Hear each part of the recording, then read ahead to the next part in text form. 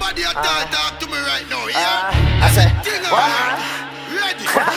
They want your life, they want you dead They want that space inside your head Don't give them time, go tell your friend Your life is just